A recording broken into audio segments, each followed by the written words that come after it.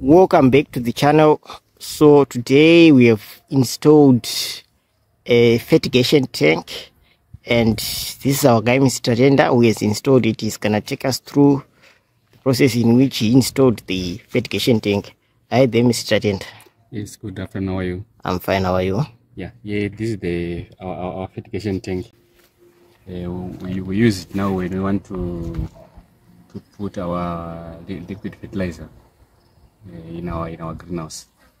We just add our dilution here in the tank. We use uh, the fertigation tank as well when we want to, to cure some diseases uh, like the, the, the nematodes. We just pour our, our water here and mix it with, with the chemical. So when we, when the, this tap is, is like this, it's closed. So we will fill uh, our, our chemicals there or our fertilizers there. Then we, when the when the drum is full, we will then open now, so that to uh, we allow the chemical or the fertilizer to flow through to flow uh, with, uh, with the pipe to the drip irrigation. okay. So you you said liquid fertilizer. What what do you mean exactly? I do you have to put like those bars or compound into liquid or like lambda Ah no, uh, basal is basal. It's not a liquid fertilizer.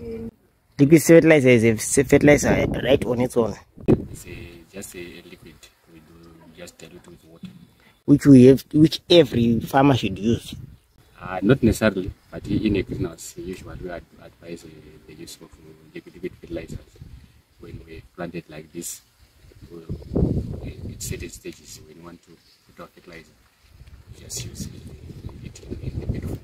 or no longer do it the the other way like a Yeah. manually Yeah, the, the, the reason to, for, for using uh, liquid fertilizer through, the, the fertigation tank is just to cut uh, uh, our labor costs so that uh, uh, just a single person can work uh, in the the fertilizer application. fertilizer application okay just a question this is for fertigation but i'm seeing that this pipe is going to go right down into the greenhouse following into the following the, to the drip lines. Oh, so, yes. so what separation we do when we want to water our plants and we want to fertigate our plants? We have to have a separate source of water like a, a, another tank? Yes, when you want to, to, to use it for, for, for, for watering now, there's a different thing from this one. a much more more bigger thing This one is for fertigation processes only, the, the liquid fertilizer application. So want to water our crops, we use a different thing from this one.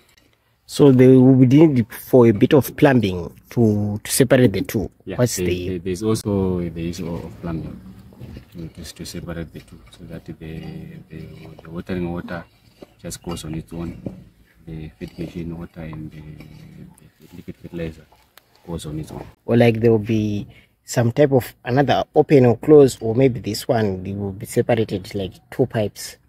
And there, there's also a, just a, the mechanism will just will be the same. The difference will only with the with the tank.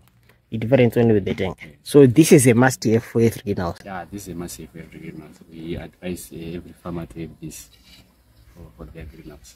So that's it guys for our fertigation tank installation. Thank you for watching. Don't forget to like and subscribe. Join us for the next update next time.